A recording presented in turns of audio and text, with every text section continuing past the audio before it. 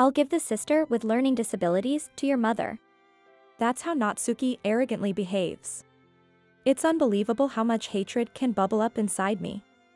This person does not love her child. She sees her only as a tool to make money.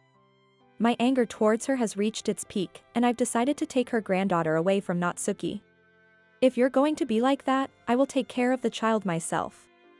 Under the condition that Natsuki would no longer be involved with her granddaughter, I decided to take her in and go through with an adoption. Ten years later, Natsuki realized her mistake after a certain event and was filled with regret. My name is Takako. I work as a proofreader, checking for errors in manuscripts and proofs for books and magazines at a publishing house. My husband is a film director, involved in a wide range of projects from anime to Japanese and horror movies, and is well known as a skilled director. We, a creative couple, have one son. Our son grew up to be a fine eldest son, found a wonderful woman, and got married. They were blessed with children and lived happily. But soon after getting married, our son was involved in an unfortunate accident and passed away. Losing our only son, my husband and I were drowned in sorrow. I believe it was even harder for Natsuki, our daughter-in-law. At the young age of 33, Natsuki became a widow and raised two daughters on her own. Furthermore, the daughters are twins, with the younger one, Ami, showing signs of learning disabilities, while her sister, Rina, does not. At first, Ami's condition was diagnosed as mild, but as they grew, her disabilities became more apparent, and now they both attend the same elementary school, with Ami in a special education class. Raising a child with disabilities is no small feat, especially for Natsuki, who lost her husband early on. Of course, my husband and I have tried to support Natsuki in every way possible. Natsuki also works, and when she can't take care of the kids at night, we've looked after our granddaughters at our place. Still, the hardship she's faced after our son's death is unimaginable. I truly respect Natsuki for everything she's done. She really did cherish her daughters. That was until Natsuki fell for a certain man. Meeting this man, Natsuki changed completely. Mom, I'm taking Rina to piano lessons, so I'm dropping off Ami with you now. I'll be there in about five minutes. This was a sudden call, without any prior notice. Natsuki used to inform me in advance, showing consideration for my schedule, but lately, she's come up abruptly. Despite knowing her piano lesson schedules in advance. She started calling out of the blue, wanting to drop off Ami without any prior discussion. Of course, both my husband and I have work. Making requests without prior confirmation can be inconvenient for us. Natsuki, I admire your dedication to Rina, but it's difficult for us when you suddenly impose on us every time. Eh? But aren't you off today, Mom? The calendar mentioned you're off every Tuesday this month, right? Because she frequently brings the grandchildren over, Natsuki knows everything from our work to our family situation. It felt invasive and uncomfortable. Even on days off, we have plans that can only be done then. Please stop dropping her off without notice. It's not that we don't want to take care of her. But it's troubling when you leave her with us without any discussion. Understood. I'll be more careful next time. After a pause, Natsuki replied reluctantly. At the same time, I could hear a faint click of her tongue. And before I could respond, she hung up the phone unilaterally. Shortly after, I heard Natsuki's car stop at the entrance. Suppressing my exasperation, I headed to the entrance. Then, I heard something unacceptable from the direction of the entrance. Ami, just go to grandma's by yourself. Hearing Natsuki's forceful words to Ami from the entrance, I was stunned and speechless. Moreover, I heard the car door close only once. Meaning, Natsuki instructed Ami from inside the car without getting out and then drove off again. Shocked and in disbelief, I hurried to the entrance to greet her. And there, I found Ami left all alone at the entrance. Ami. Where's your mom? Where did she go? Ami, not understanding the situation, stared back at me with a puzzled look. I placed both hands on Ami's shoulders and asked her what happened, but she just looked at me curiously without answering my questions. Grandma. Good evening. Ami is in elementary school but has delayed speech. She can communicate in two-word phrases at best. So, she can't respond to complex questions. When bombarded with questions, she often gets tongue-tied. At this moment, unable to grasp the meaning of my questions, Ami, contrary to my anxious feelings, smiled at me with a charming grin. Ami, where's your mom? Shopping? Piano lessons? Which one did she go to? When talking to Ami, I mustn't get too emotional. Rushing her with words can cause her to panic because she picks up on that stress. So, I took a deep breath first to calm my own feelings. Then, I presented choices with my fists, making it easier for Ami to answer by giving her a binary option. Thanks to this, Ami seemed to understand the question, pointing at one of my fists, and uttered something surprising. Piano, went with Rina and a man. A man? That word caught my attention, and I inadvertently asked Ami eagerly. Is that person mom's friend? Rina's friend? No. Mom's boyfriend. Seeing Ami say this with a happy smile made my heart ache terribly. So, Natsuki left her daughter behind to go to Rina's piano lessons with a new man. But why leave Ami behind? The answer to that would soon become clear. That evening, as the time for piano lessons to end approached and it was time for pickup, Natsuki did not come home. Fortunately, it was Saturday tomorrow, so there was no school, and looking after Ami at home wasn't an issue, but it was still incredibly irresponsible. To leave her with us without any notice. What on earth happened to Natsuki? I repeated these compliments in my mind while waiting with Ami for Natsuki to come for her. We were yet to realize that Natsuki's life had already spiraled out of control. Hello, Mom? I'm sorry to ask, but can Ami stay over tonight? Rina's come down with a fever. I don't want Ami to catch it, so I was hoping she could stay with you. The call came after 9 p.m. Ami had finished her bath and dinner, and we were just waiting for Natsuki to pick her up. Natsuki's voice over the phone didn't sound hurried, and she spoke with an apologetic tone. Without knowing the situation, one might not have doubted her words. However, having heard the story from Ami earlier, I couldn't easily believe what Natsuki was saying. It's fine. We'll take care of her tonight. Noticing my hesitation, my husband, who had been playing with Ami, looked over and said this with a stern expression. So, I told Natsuki that we would keep Ami for the night, as my husband suggested. I understand the situation. But you knew about this earlier, didn't you? How many hours has it been since the piano lessons ended?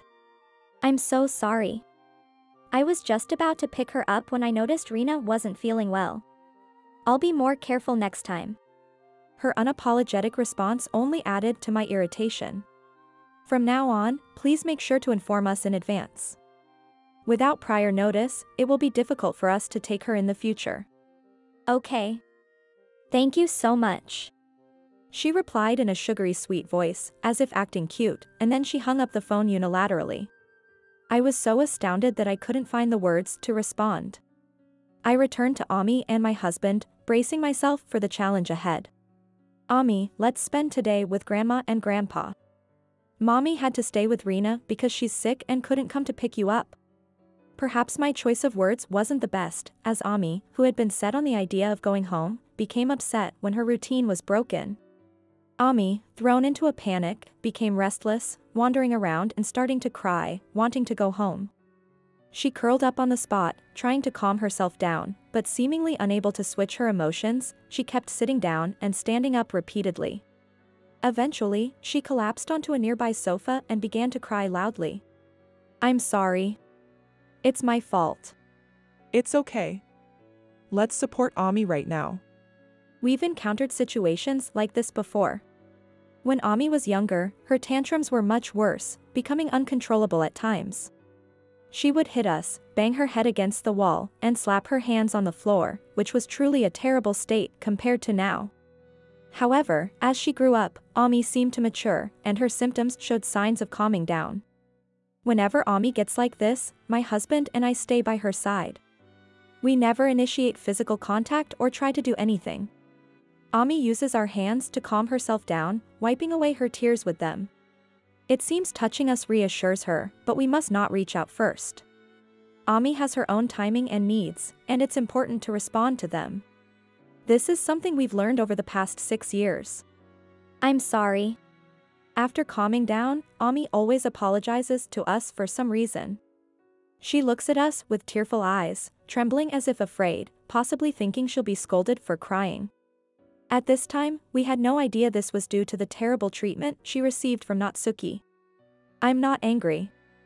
In fact, I'm the one who should apologize, right? I said something horrible to Ami. Good girl? Good girl? Even though she couldn't understand my words, she must have read my emotions from my facial expression. Seeing me downcast, Ami gently stroked my head. Despite her difficulty with words, this child has such a kind heart. So what if she has a disability? That's just part of her unique character. I love this gentle side of her. Smiling at these thoughts, my husband's suggestion to go to bed allowed Ami to switch to sleep mode, and she happily went to the bedroom with him. The next morning, Rina with a grimace and Natsuki in a slovenly, annoyed manner came to pick her up. Thank you for yesterday.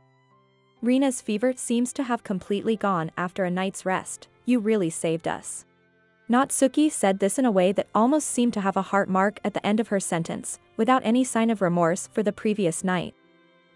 Next to her, Rina had a somehow sulky expression on her face. I wondered what had happened. I wanted to ask, but seeing her mother, Ami's eyes lit up, and she ran to hug Natsuki, leaving me unable to say anything. Mom, I'm home. Ami. Welcome back. Let's go home, shall we? Natsuki responded to Ami's hug. The moment I saw Natsuki's smile, I felt something was off. It seemed like she made a slightly disgusted face at Ami, if only for a moment. It was so brief I couldn't be sure if what I saw was accurate. Given what happened yesterday, it might have just appeared that way to me. But even if I wasn't certain, the feeling of discomfort was there, preventing me from voicing my concerns. Well then, we'll be off now. As Natsuki said this and took Ami's hand to head to the car, Rina, with a grim face, came to me and handed over a letter. Read this after we've gone. She whispered, handing me the letter in a way that Natsuki couldn't hear. From Rina's demeanor, it was clear that this was no trivial matter. I didn't ask Rina anything further and silently accepted the letter. After watching Natsuki and her daughters leave, I called my husband into the living room and we read Rina's letter together. The content of the letter was shocking. Mom has changed since she found a new boyfriend. She's hardly ever at home and gives him money. She's been giving the money I won from piano competitions and the rewards from concerts to him. She leaves Ami with grandma because that man dislikes Ami. And now, mom has started to find Ami annoying. She might try to leave Ami with you again soon. Please, help Ami. I'll be okay. Just look after Ami. The letter's content was unbelievable and surprising. At the end of the letter, there seemed to be an email address written down. I recalled Natsuki mentioning that Rina's piano talent blossomed as she entered elementary school, and her lessons became even busier. Despite her youth, Rina has attracted media attention for her skills. Now, she is considered a prodigy in the piano world, a rising star attracting nationwide attention. With things being so dangerous lately, I decided to give her a cell phone. It seems pretty normal for elementary students to have one these days, so I thought it wouldn't be a problem. As a parent of a child who's in the public eye, it's only natural to be concerned and take precautions for their safety. It's amazing how times have changed, I thought casually. So, knowing that Rina had a cell phone, I understood this address was hers. Rina has always been quick-witted, even for her young age. Writing down her cell phone contact meant she wasn't being monitored in her communications. This implied it was safe to contact her this way, and I felt sure about it. Therefore, I trusted this email address belonged to Rina and decided to reach out. Good evening, am I correct in assuming this is Rina's address? Yes, it is. You read my letter, didn't you? Thank you. Grandma, please help Ami. The reply came just after 10 p.m., likely when she had returned to her room for the night. From there, Rina and I exchanged several messages. Can you explain in detail what you meant in that letter? Also, make sure to delete our email exchange, okay? Sure. I wasn't really sick yesterday. It was all a lie so mom could go see that man. I was left at a piano friend's house while mom went out with him. He's like a musician, and mom has been chasing after him. She's been spending my competition winnings and concert earnings on him. But I'm okay with it. However, Ami. Ami is treated horribly by mom at home. Ami doesn't understand and is always smiling, but after being scolded, she ends up crying uncontrollably. Mom cares more about that man now than us. If I give mom money, she's in a good mood. But as long as Ami is around, mom will continue to treat her harshly. That man said we should just leave Ami with you guys. Maybe Ami would be happier with you than at home with mom. So please, help Ami. I'll do anything for her sake. Reading the email to the end, I couldn't stop my tears. A six-year-old girl desperately trying to protect her sister. And to think, she's willing to sacrifice herself. What a terrible mother to make her young daughter say such things. But what about you? If things stay the same, who knows what might happen to you too? I'll be fine. As long as I can play the piano, mom will need me. If push comes to shove, I'll threaten to quit piano. Besides, I want to get even better at playing. If it means using them to my advantage, I will. That guy seems to have connections in the music industry, so I'll make the most of it.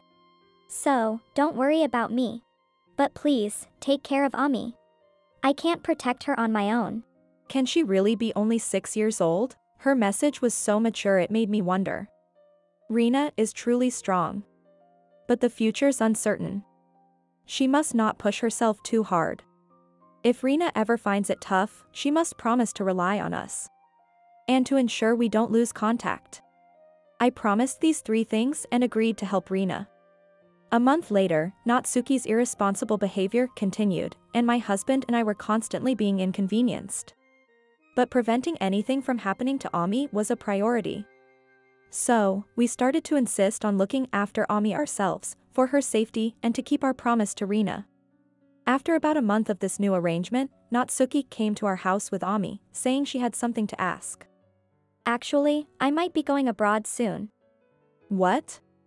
Rina's piano teacher highly praised her talent and might get her an opportunity to be seen by a famous teacher in Italy. If she succeeds, she's guaranteed to become a world-renowned pianist. So, if that happens, I was hoping you could take care of Ami. Taking Ami abroad with me is just not feasible. I couldn't help but doubt Natsuki's story. Because Rina hadn't mentioned anything like this to me. There was no talk of going abroad, and there was no reason for her to keep such important news a secret. I couldn't trust Natsuki's words and looked at her skeptically. Could you take Ami to the living room? I'd like to have a word with Natsuki alone. My husband seemed to understand from my expression and left the living room with Ami. Tell me the truth. Huh? The story about Rina going abroad doesn't just come up suddenly, does it? Plus, a friend told me they saw you walking in town with a man while Ami was left with us. If you're planning to keep up these pointless secrets, we will have to take action. What's really going on? Give me a straight answer. The story about my friend seeing her was a lie, but I thought it necessary to shake Natsuki's resolve to get to the truth. If you know everything, then just say it. There was no need for such an act. What? I was taken aback by her sudden change in demeanor. I couldn't believe that this person in front of me, with such an unbelievable tone and attitude, was the kind Natsuki I knew. To be clear, Ami is in the way. Just having a child with developmental issues significantly lowers my chances of remarrying. While Rina does compensate for the negative aspects to some extent, being a mother to a child with disabilities still turns potential partners away. So, for my and Rina's happiness, I want you to take Ami. It would be better for Rina to have a stepfather, and it's better for my mental state too. Far from being remorseful, Natsuki spoke nonchalantly. I was speechless at her words, unable to comprehend. Then, she said something even more shocking. In short, I'm giving Ami, who has developmental issues, to you. Having Rina is enough for me. You were happy to have a grandchild, right? A useless burden only strains the household finances. I couldn't recognize Natsuki as a person anymore, hearing her speak so lightly of such matters. Despite everything, Ami loves her mother. For Ami, her mother is everything, and no matter how badly she's treated, Ami loves her mother deeply.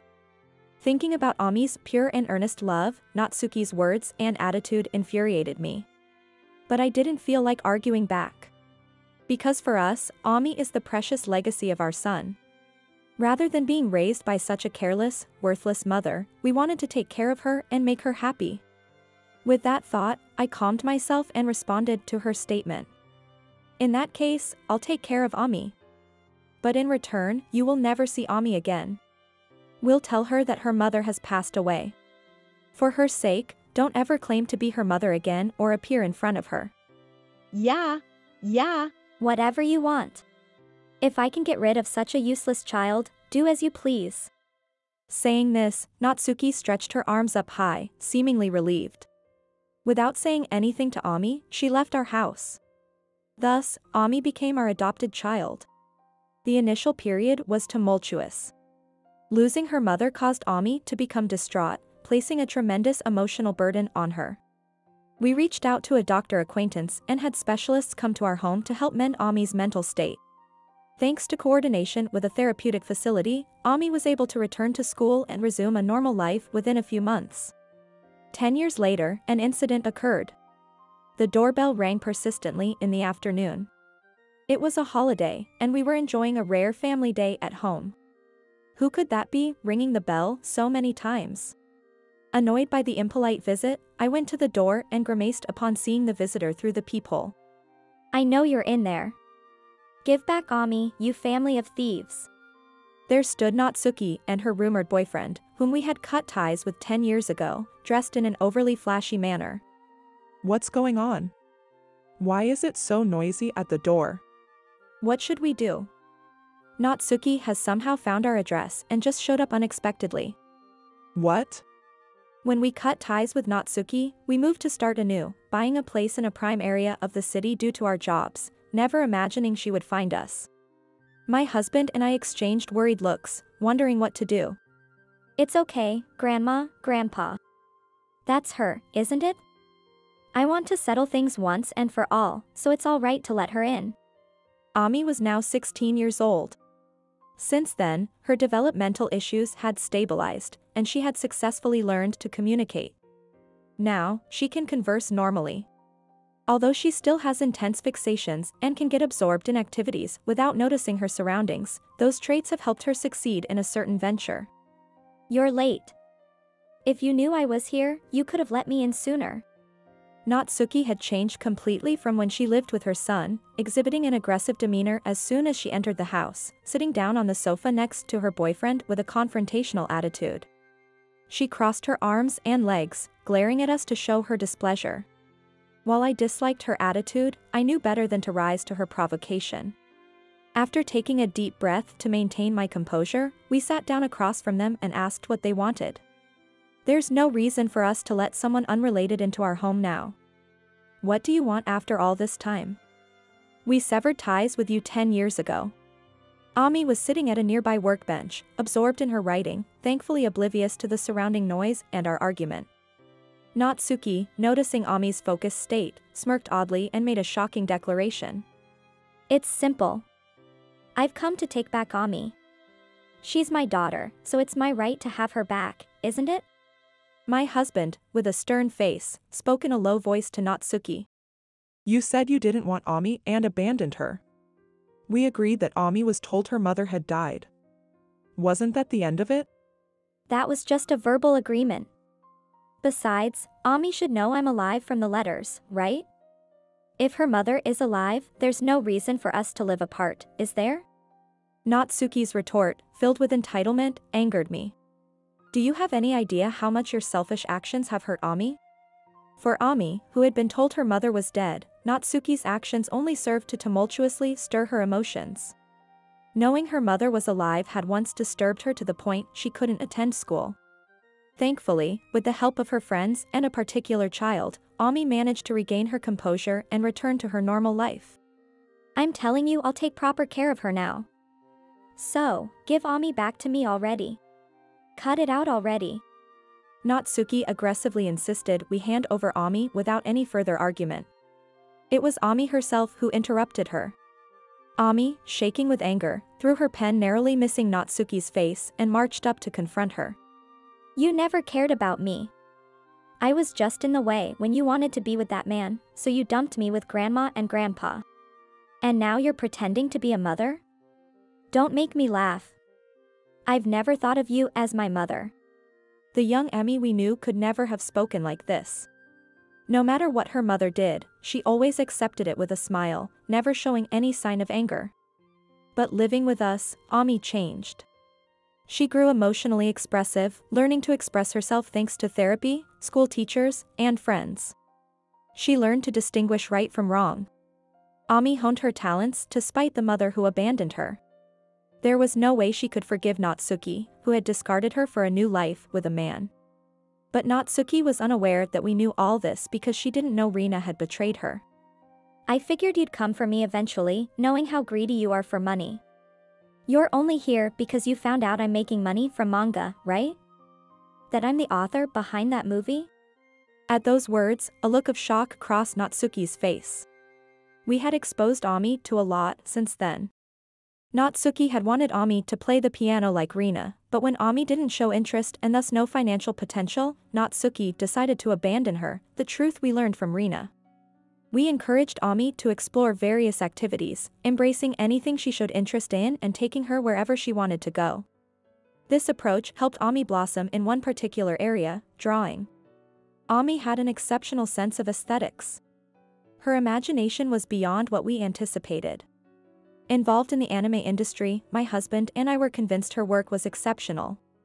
Her art caught the attention of a renowned figure in the industry, someone with awards named after him.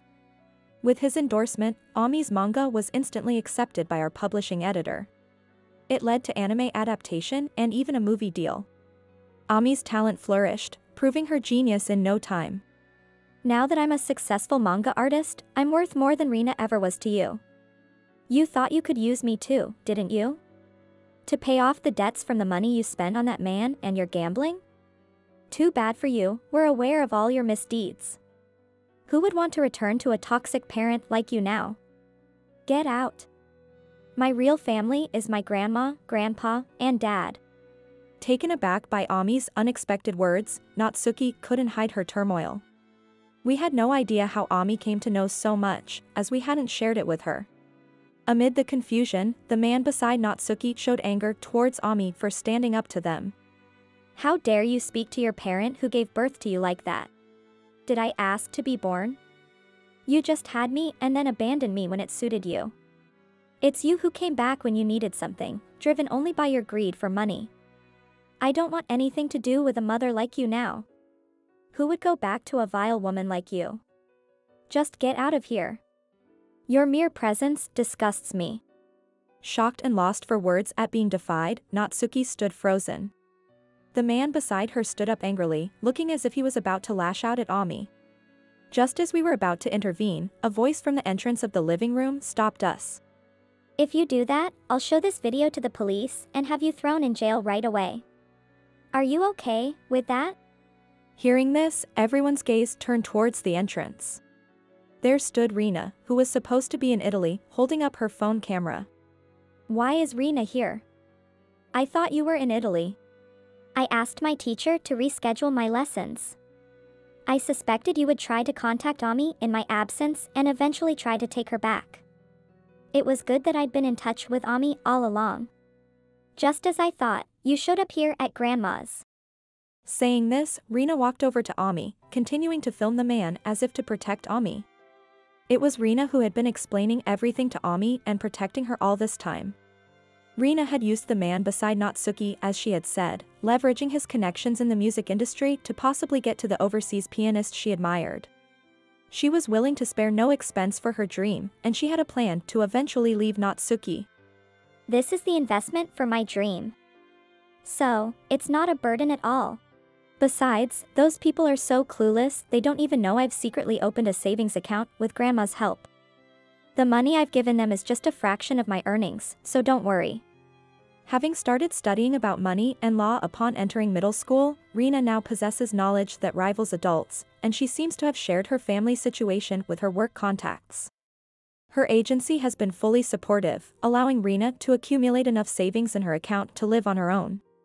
Now that her dream has materialized and she has secured a place to live, Rina told Ami she considers Natsuki and her accomplices unnecessary and wants to distance herself from them.